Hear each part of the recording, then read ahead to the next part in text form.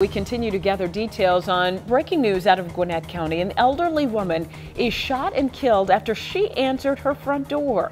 CBS 46's Daniel Wilkerson is live inside the Amber Trail apartments, or actually he's outside those apartments uh, at that complex. We're hearing police are looking now, Daniel, for two men Yes, two men, they say, dressed in all black. They had masks on. They do not know at this point whether this elderly woman was targeted or whether perhaps this uh, was a random act. But take a look. As you can see behind me, the scene has since cleared. But take a look, give you a closer look at what it looked like when we arrived. This happened around 11 last night. A roommate says that he heard knocks at a front door. An elderly woman went to answer it. The roommate says he then heard gunshots. That roommate came out to investigate and found the elderly woman on the floor at the door.